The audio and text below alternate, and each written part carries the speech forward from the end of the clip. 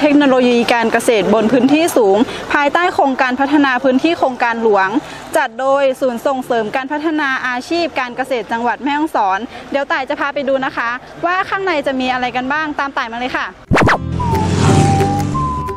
ในวันนี้นะคะต่ายจะพาคุณผู้ชมไปชมบรรยากาศของกิจกรรม สร้างการรับรู้เทคโนโลยีการเกษตรบนพื้นที่สูง ภายใต้โครงการพัฒนาพื้นที่โครงการหลวง ซึ่งเกษตรที่สูงจังหวัดแม่ฮ่องสอนเป็นเจ้าภาพค่ะสำหรับกิจกรรมสร้างการรับรู้เทคโนโลยีการเกษตรบนพื้นที่สูง ภายใต้โครงการพัฒนาพื้นที่โครงการหลวง จัดขึ้นระหว่างวันที่ 22 ถึง 23 มีนาคม 2564 จากการสนับสนุนและบูรณาการ การทำงานร่วมกันจากภาครัฐ เอกชนและเกษตรกร มูลนิธิโครงการหลวงสำนักงานจังหวัด และกรมส่งเสริมการเกษตร โดยในวันที่ 23 มีนาคม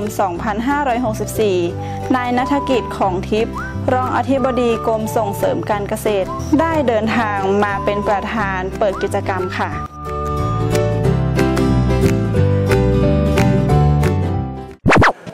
ส่วนหนึ่งในการทำตลาดคือนำเทคโนโลยี การค้าขายแบบออนไลน์ เข้ามาสนับสนุนกลุ่มวิสาหกิจชุมชน ที่ศูนย์เกษตรที่สูงเราได้ไปส่งเสริมกลุ่มต่างๆ สร้างอาอาชีพให้กลุ่มต่างๆ ในในทั้งหมด 780 เนี่ยเขาได้ใช้เทคโนโลยีสื่อสารในการทำตลาดวิธีการทำตลาดแบบออนไลน์ทำแบบไหน การบรรจุหีบห่อที่ทันสมัยเป็นแบบไหน วันนี้เราได้แลกเปลี่ยนเรียนรู้ซึ่งกันและกัน นี่ก็คือจะเป็นประโยชน์อย่างยิ่ง โดยที่เน้นในเรื่องของว่าทำยังไงจะให้เกษตรกรได้มารับรู้ได้ว่า เอ๊ะจริงๆแล้วเนี่ยศูนย์เกษตรที่สูงต่างๆเนี่ยเขามีเทคโนโลยีอะไรบ้างที่จะ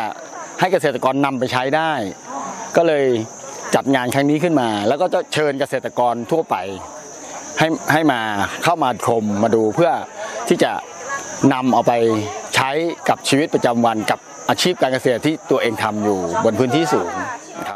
ที่สูงต่างๆ ไม่ว่าจะเป็นตากแม่ฮ่องสอนเชียงใหม่ เชียงราย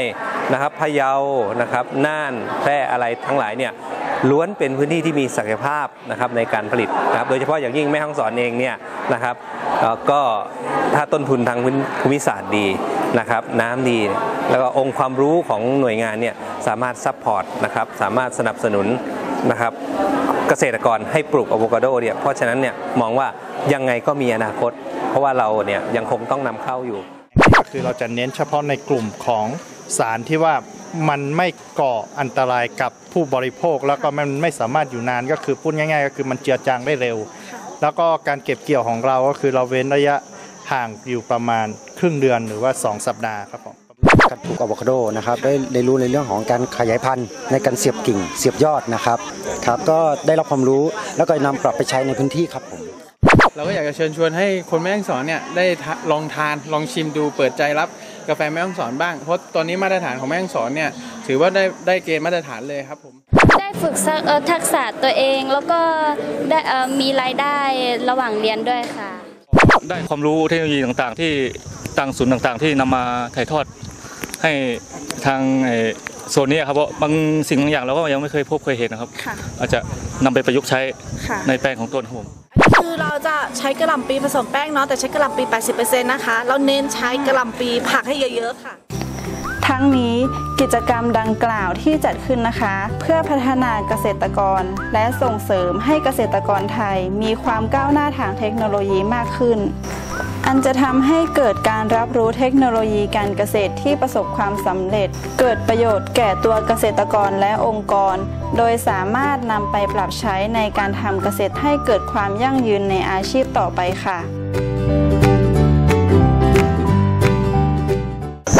เป็นยังไงกันบ้างคะคุณผู้ชม วันนี้ต่ายก็ได้พาคุณผู้ชมไปดูกิจกรรมและบูธต่างๆ ภายในงานแล้วนะคะ หวังว่ากิจกรรมในครั้งนี้จะเป็นประโยชน์ต่อคุณผู้ชมไม่มากก็น้อยนะคะ สุดท้ายนี้ต่ายก็ต้องขอขอบคุณศูนย์ส่งเสริม และพัฒนาอาชีพการเกษตรจังหวัดแม่ฮ่องสอนที่ได้ จัดกิจกรรมในครั้งนี้ขึ้นมาค่ะ สุดท้ายฝากกดไลค์กดแชร์และกดติดตามเพจ Facebook แม่ฮ่องสอนครีเอทีฟหรือช่อง YouTube แม่ฮ่องสอนครีเอทีฟด้วยนะคะ